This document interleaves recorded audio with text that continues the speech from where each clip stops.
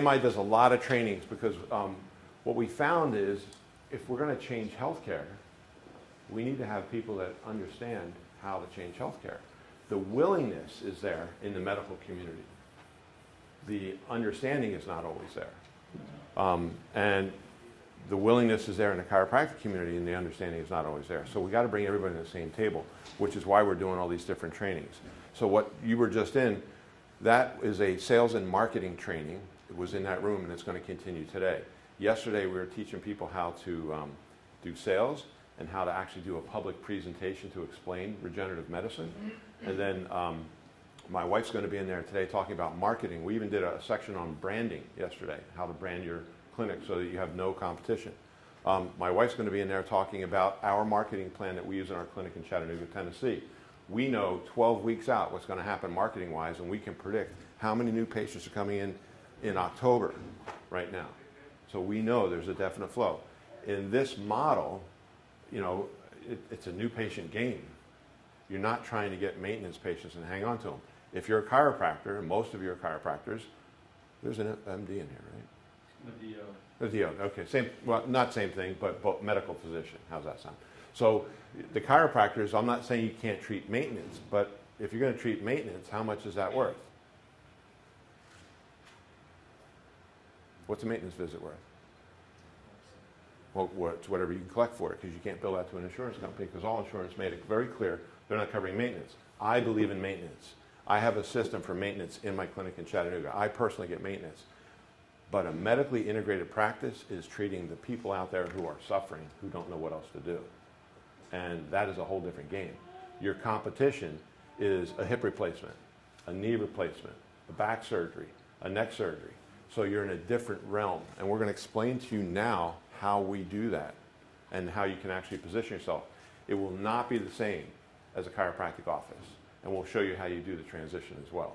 You can still, I mean, chiropractic is part of it. Everybody that comes in our clinic is chiropractic care. But it's a different setting. So what I'm going to ask you to do is just view this from the point of view that maybe if I want some a different outcome, I got to do something a little different. And that's what we do. So I'm going to tell you the story of us and the history of us, but before I do, I want to find out the story of you. So why don't you just, what, what I want you to do is I want you to share your dream. Tell us who you are, tell us where you're from, and tell me what your dream was. Everybody in this room at one point in their life, you might have been 10 years old, 15 years old, 18 years old, 30 years old, and you had this epiphany, because I was 25 when I had it. You had this epiphany this is what I want to do, and this is what I want to be when I grow up, and this is what my life will be like. This what I found when I started looking, I realized, you know, was my current path going to get me to where I wanted to go? My dreams are different than your dreams. My dreams are different than my wife's dreams. Um, how long would it take? My goal since the moment I got injured, and I went the medical route because I have family members that are vice presidents of pharmaceutical companies, different pharmaceutical companies, and the advice I was getting was to do like I heard some of you saying, take the medication and just, and I had to go against the grain because I realized it wasn't going to fix me. And my goal became when I got help and I had severe headaches, you had the headaches, right? And I never told the chiropractor about it. I had that for years. But this neck injury is what he was treating and the headaches went away. I was like, holy crap, that was connected. I got injured because I had a neck problem, not I got a neck problem from getting injured. And so I had this epiphany. I'm giving up my career in marketing, my career in sales, which I was doing great, 25 years old, and brand new car, motorcycle, and, you know, I mean, everything. I, I was looking at houses, and I gave all that up to go back to school to become a chiropractor because I had a dream. And the dream was to change healthcare, to make chiropractic a more prominent position in healthcare. Now that's evolved a little bit, but it's still my dream. But what I've learned when I when I had the opportunity to integrate and I was scared to do it, I've, I've learned over the last 25 years that just, you know, chiropractors, if, if I surveyed you guys in here, you probably agree with me, 80% of chiropractors went to school because they genuinely wanted to learn how to help people. And you heard that today in the dreams, right? And 20% go to school because they want to manipulate the system and just make a lot of money. Well, I found the same is true in the medical world. 80% of medical doctors and osteopaths went to school to genuinely learn how to help people. I was not taught that at life. I was taught at life the medical doctor is the devil. And I was believing, believing it until I heard him say, and the physical therapist is the devil. And I'm like, I'm sleeping with one. She's not the devil. So I was open minded enough to realize that maybe I was given false information. And I think the person who gave me that information was genuine and believed that, but he was given false information. I'm talking about Sid Williams, right? So I realized, you know what? If we all have a common purpose to help people, we should get those 80% of people together and change healthcare. And that's how my vision evolved. Because I realized as a chiropractor, no matter how hard we try, we're not getting over 10%. And you know why? Because the most powerful industry in the history of planet Earth is going to keep us below 10%. Why? The diffusion of innovation. How many of you ever heard of that? The diffusion of innovation. You got the, early, the innovators and you got the early adapters, and that means 15%. And until those people reach out and say, I'm going to do the service, and you know what? It's great. Then all of a sudden the early majority starts going, I'll start doing it. Then you have this wave. You hit 15%, the wave starts, and it becomes an accepted therapy. The reason chiropractic in 132 years never became an accepted therapy is because the pharmaceutical industry says, and they know, we got to keep less than 10% going. We keep less than 10% going, they'll never take off. And boy, does that work. That's true. So what do you do? You create a different system that embraces people like him that are willing to work on the dark side without pushing pharmaceuticals and going more natural routes, understanding that the body has the secret of healing inside of it. And the doctor, just like Deepak Chopra said, a medical doctor, the doctor's job is to use that tool to get the body to heal itself. That has been forgotten in pharmaceutical world. I know this because I go to barbecues with vice presidents of pharmaceutical companies. It's about the drug and being told, don't worry about the side effects, let the marketing department handle that. Where's your new product? I'm working on it. There's too many side effects. Don't worry about the side effects. Let the marketing department handle it. That bullcrap has to end. And how do you end it? You create a group of powerful people uniting the different professions together that all have a common objective and say, let's change it. And let's do it in a way, the only way this is going to work, the only way this is going to work is the participants are given a plan that will help them to thrive in their business and thrive in their goals. And yes, you will have to step out of the trenches of treating eventually and become the executive.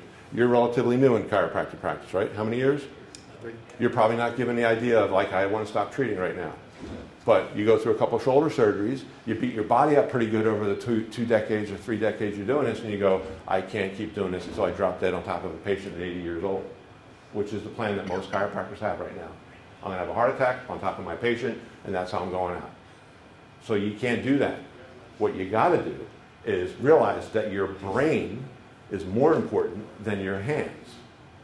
And you need to teach what you know to others. That's the only way we're going to change it. And in doing that, for this plan to work, you have to thrive in all these categories family, relation, career, vacations, home, debt. You have to be super affluent if it's going to work. That's what AMI's plan is.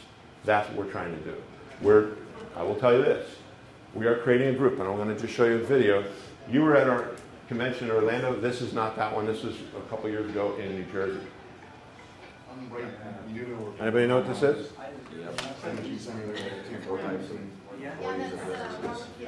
That's right. Very impressed. It's the cash flow four quadrants. Yeah, I'm very impressed. So we're going to talk about this later, and its disappearance. So I got it on a slide as well. But um, there's four types of people in, in the business world. There's employees, right? There's self-employed employees. There's business people and investors. The difference is these people work for their money. These people, the money works for them. And most people that are self-employed employee think they're a business person. And in his book, he says what professions mostly are self-employed employees? Doctors, that's right. He said because they're perfectionists and they have to do it themselves because nobody can do it as good as them, and that's their downfall. That's why you can be a millionaire in any one of these quadrants, but if you're a self-employed employee, you are chained to your business, and your business will kill you. This happened to my dad. He was a self-employed employee, had his own business, worked for himself. He was his hardest boss, and what did he do? He retired at 55 and dropped dead at 60, 61. you know, worked his butt off all those years, 80 hour weeks. When he finally took time off, boom, done. Because he chained himself to his business. The business wouldn't function without him. We're going to talk about that. Oh, that's how, that's how I felt, even when I was doing 700 visits a week. You can be a very large personality-driven business. So, how do we how do we get rid of the model that exists? We have to create a new model, and that's what we're doing. And we're creating it with a group because I can't do it by myself. It's, just, it's not possible. So, I tell you that because I am looking for recruits. That's what I'm doing here today, and I'm not going to sign all of you up because I don't. I might not want to sign all of you up, and you shouldn't join me. Some of you shouldn't join me because it might not be a good fit. But if it is a good fit, I'm going to try to recruit you because I need help. That's what I'm trying to do. I'm trying to change healthcare. And I used to say to them, I have four daughters, and uh, my older two, they're all the same marriage. I have two that are older and two that are younger. We just built a couple businesses in the middle, so we didn't have too many kids at that time.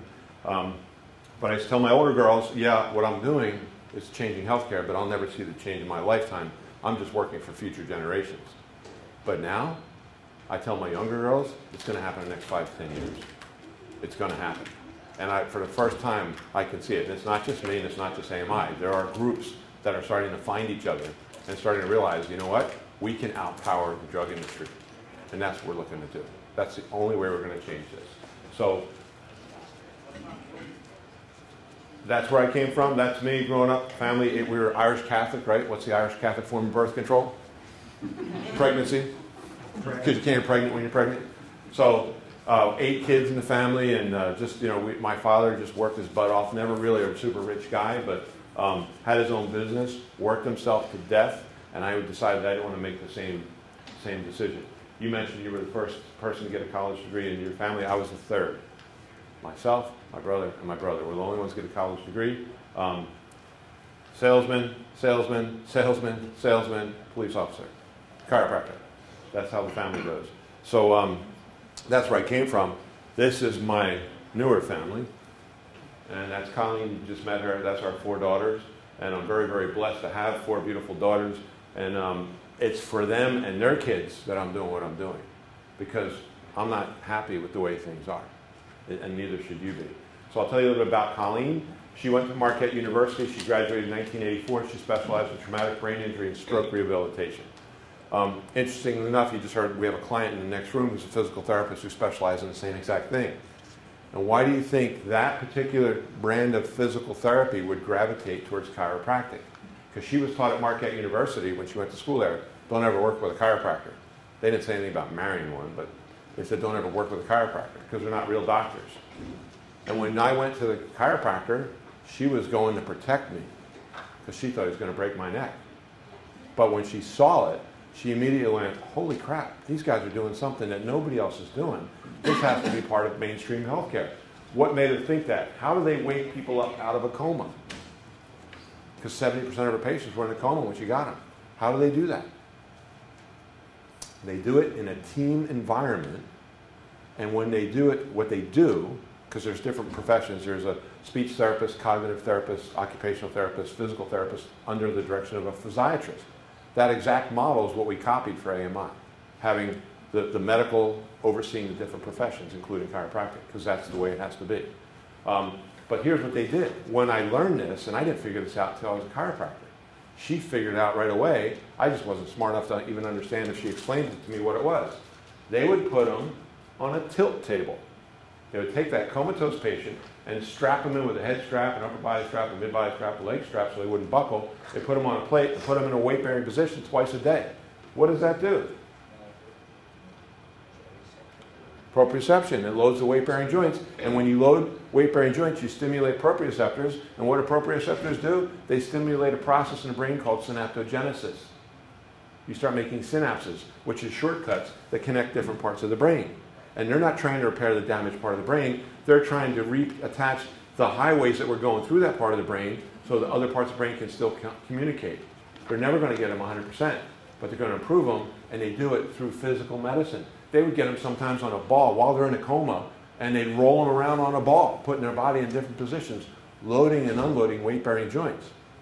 So when she saw chiropractic, she went like this 90% of the weight bearing joints are right there, and they get stuck And nobody else is on, well, maybe osteopaths, but nobody else is unsticking them.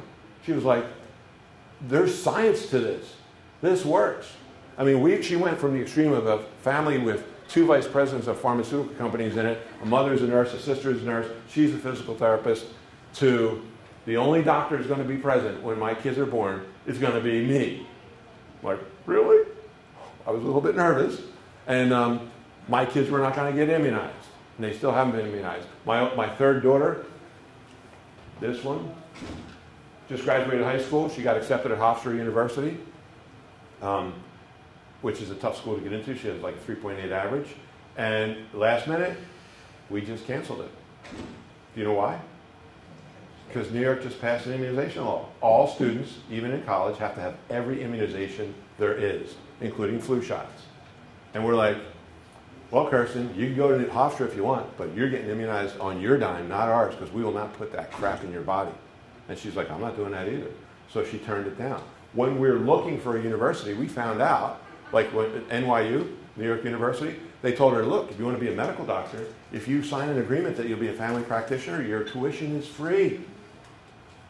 And not because you got a, a um, scholarship, it's free because there's not enough family practitioners, because they're quitting in droves. Am I right? Oh, yeah. Yeah. When I, when I graduated school in 1991, there was almost 700,000 medical doctors in the United States. Now there's 540,000. They are quitting in droves. Why are they quitting? Because they're tired of the crap of going through and having to just prescribe drug after drug after drug. That standard of care was set up by the AMA, and I'm going to show you today why we shouldn't trust the AMA, and the AMA is not medical doctors. So, fast forward a little bit, she has this epiphany, and all of a sudden she's like, this is a science and this is a treatment that is necessary. It's why we heard some of these fantastic stories about things that happen to people that have these untreatable things, and all of a sudden they get treated with chiropractic and they get, they get better, right? That should be part of mainstream healthcare. And if it was, we'd need a lot less drugs, which is why it's not part of mainstream healthcare. Because mainstream healthcare is run by who? The drug companies. So we, we have this insane drive. I've never let up on it, which is why Inc. magazine, I'm like, they want to interview me? Now, they didn't put my picture on the cover. They took a look at me and said, we'll put Mark Cuban on the cover. But I was in that article, 25 small companies that are changing the world. And it talked about how we're charging into healthcare, and, and this was written right as Obamacare was being un, unraveled, and they're like, everybody's fleeing healthcare. Why is this guy charging in? Because I'm going to change it. Right? So we actually you know what the Inc. 5000 list is? The Inc. 5000 list, Inc. magazine looks at 5,000 of the fastest growing companies out of 28 million companies in the United States. And they rank it every year. So in 2018, number 1,303 was advanced medical integration. Because, I'm not trying to brag, oh, we're great. This is a movement.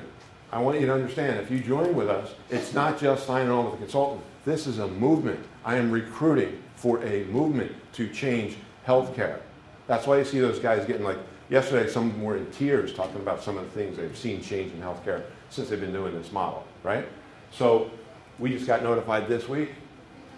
This year, we're number 2,582, which we're not going down. It's extremely hard to hit this two years in a row. It's based on your growth, not based on how, it's not the Fortune 500, it's based on how much you're growing.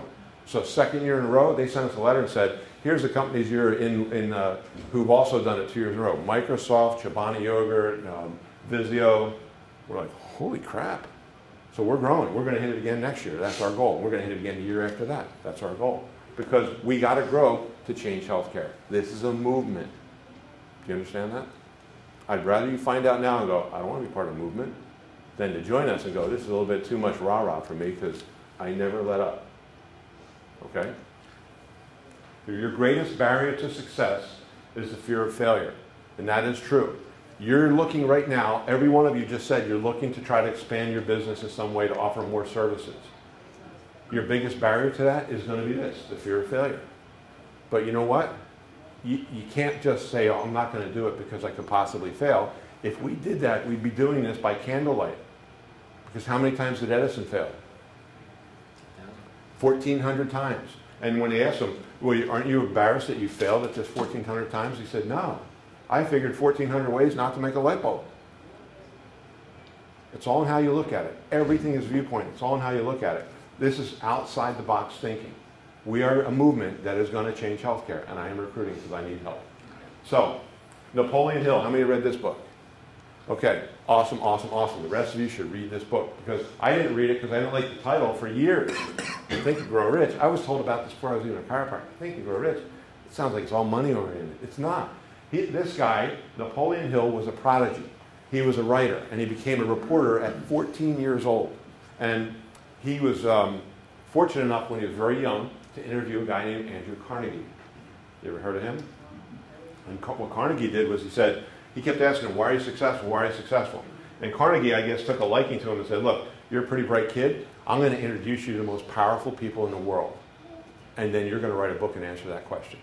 So he introduced him to um, Firestone, Ford, Edison, Schwab, Wanamaker, uh, four presidents of the United States. He actually, Napoleon Hill ended up serving on the cabinet, the economic advisor for FDR in the Great Depression. So this guy, like this book was, how do these 500 people, what makes them successful? And his conclusion was, it's the way they think. They think differently than most people. They do not entertain negative thoughts. They, a lot of them even did drills to keep negative thoughts out of their head. Everything is possible. Everything is possible. That's what makes them the super, the most, probably the, that era was, I mean, he interviewed Rockefeller, and, and you just go on and on and on with this list. Incredible people. And he said they all think differently than the average person, which is why their, their dreams came to fruition, and their dreams after their dreams were like things they couldn't even conceive when they were little. That's happened in my career. My dreams that I had when I was younger, when I was growing up, I already passed them like over a decade ago. I'm working on new dreams, and that's what you should be doing. Working on new dreams, because that's the people who change the world, and the world needs a changing. Um, Wallace Waddle. We went over this yesterday. How many of you read this book? You should write that down or take a picture of it. Wallace Waddle, The Science of Getting Rich. He wrote this before Napoleon Hill wrote his book. And Napoleon Hill read this book. And this is much shorter and easier to read. And he, The Science of Getting Rich. How do you get rich? I'll sum it up for you right now. It's so simple. And it's so simple, it's one of those things where you keep thinking about it and you go, you know what, he's right. You know what, he's right. And the more you think about it, you go, yeah, he's right, he's right. He just basically said, as long as what you're giving your customers is more valuable than what they give you, you'll get rich. As long as what you're giving your customer is more valuable than what they give you, you will get rich.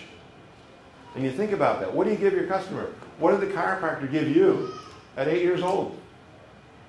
Was it more valuable than what your parents paid for it? He should be rich. This is a science.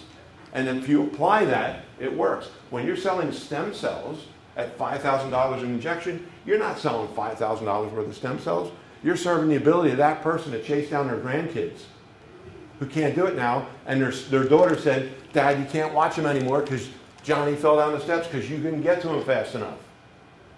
You're, you're giving that chiropractor the ability to go back and adjust because he fixed his shoulder after surgery. You're giving that, that guy who had the open heart surgery, if you look on TED Talks, there are cardiologists saying, we found out putting stem cells into the pericardium prevents the scar tissue regrowth after surgery, which is like a vice on the heart, which is why I had a cardiologist working for me. He's like, that's why all my patients died. You cut them open, it's like, let's put a scar tissue jacket on your heart and see if it'll survive. They never survive, they just die slow. So what a cardiologist told me working in my practice. Cardiothoracic surgeon. So time's got to change. We have all the ingredients on the table right now to change it, right now. The, the, the medical community is getting fed up. The medical community is like looking for answers. And who's going to give them the answers? You guys are. The pioneers, including you. That's why, you know, the neurologist said to me yesterday, he said, I, really hate speaking in front of people, but I feel like it's my duty to talk to your guys. I'm like, all right, we'll let you talk tomorrow morning. Okay, good. He wanted to say something because he's like, this is incredible. This is like changing my viewpoint on everything. Now's the time to change this, and we have it within our ability to do it. So, you got to look at it as if life is a game. I heard somebody say you played soccer and you played hockey and you played different games, right? What's exciting about a game?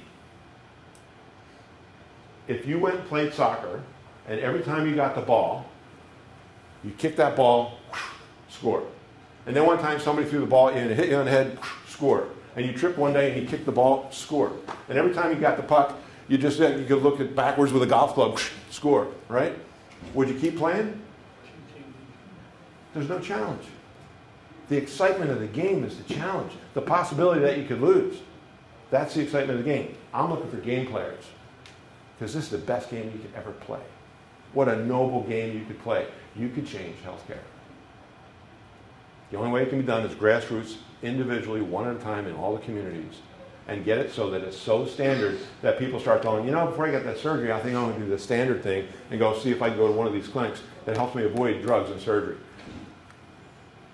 So let's take a look at it. Let's take a look at the condition of healthcare right now. And all of us in this room, whether an office manager, a chiro, or an osteopath, or whatever we are, physical therapist, we are in healthcare. So this is the product of our professions.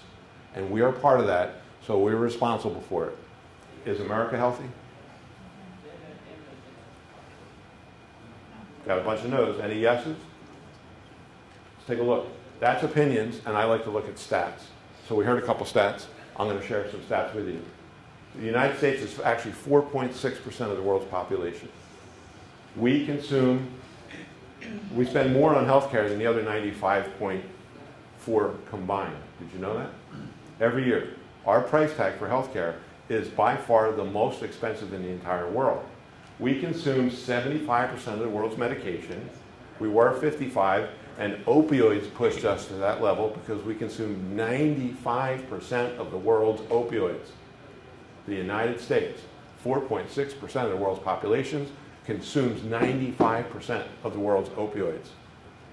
95%. If you look at how our healthcare compares, this is from the, um, what's OECD? I keep forgetting what that is. Organization, Organization of Economic Deve Cooperation and Development. This is from the United Nations. So basically what they did was they ranked the top 25 countries in the world, and this line is life expectancy, and this line is cost of, per citizen for health care, and who's definitely fallen off the scale worse and worse every year? The United States. Lowest life expectancy, most expensive health care. This is 2014. You know what happened in 2015? This number went over $10,000. You know what happened in 2015? 16, and 17, life expectancy went down. First time since World War I. Why did life expectancy go down three years in a row in World War I? Because we had a war and a, a, the Spanish flu epidemic. And we're now worse than that.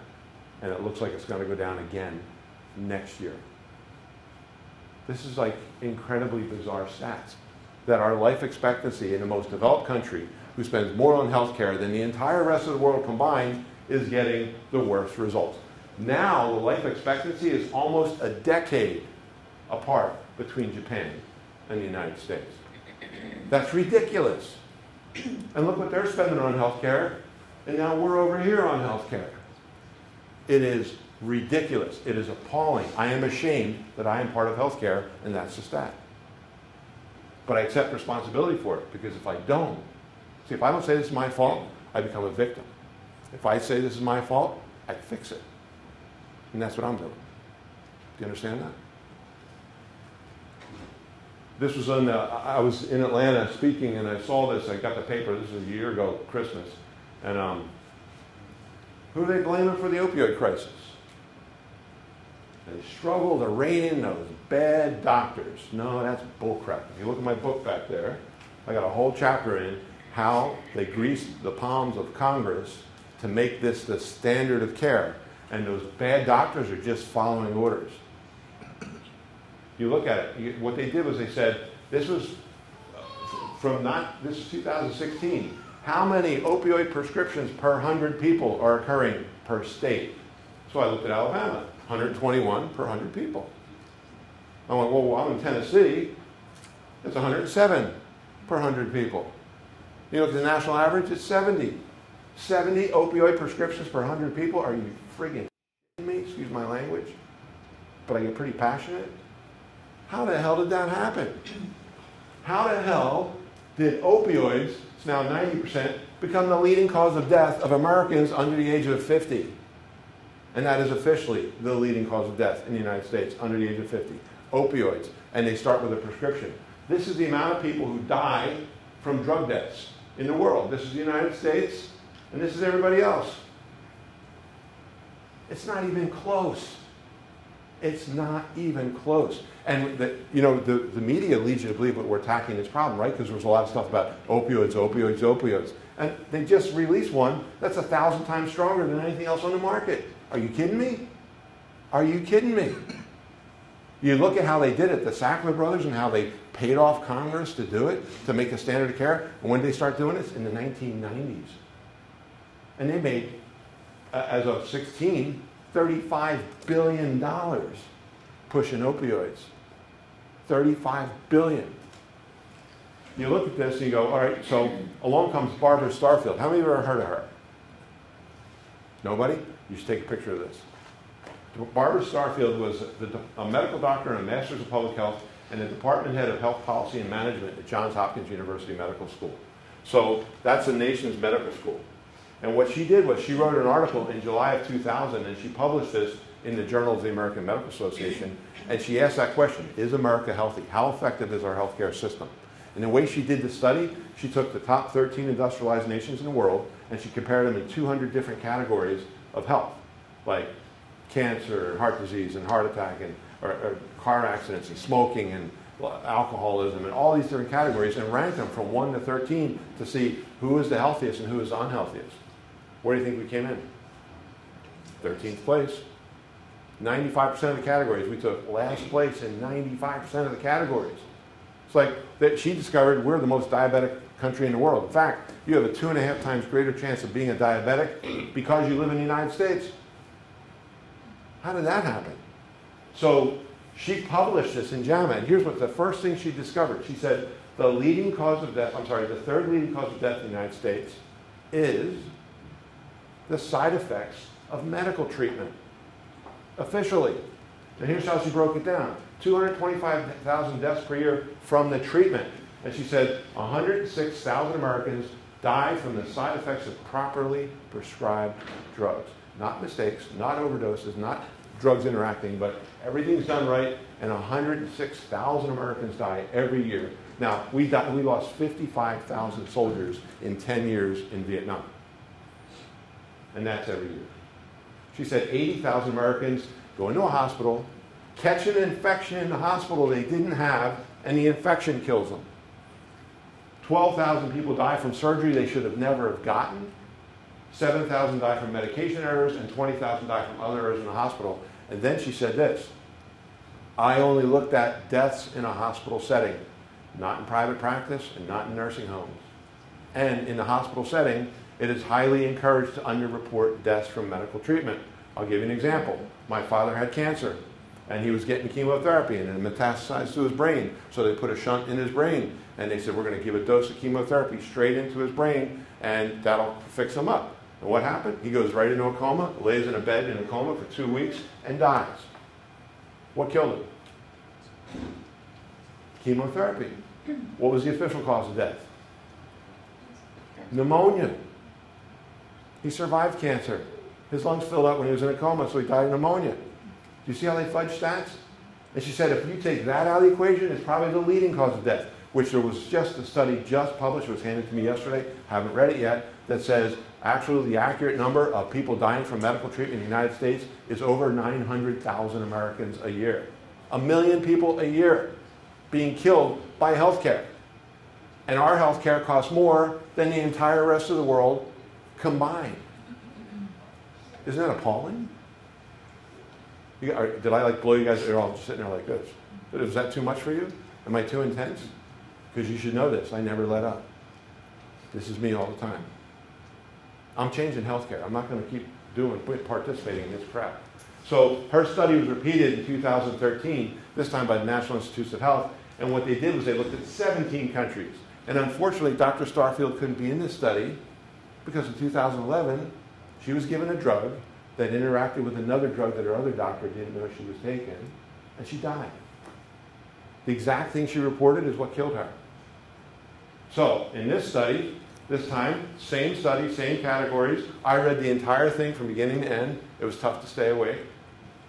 We took last place in 90%, 90% of the categories. Overweight, 17th place. Body mass index, 17th place. Diabetes, infant mortality. Infant mortality. How well does a baby survive the first year of life? That's that stat.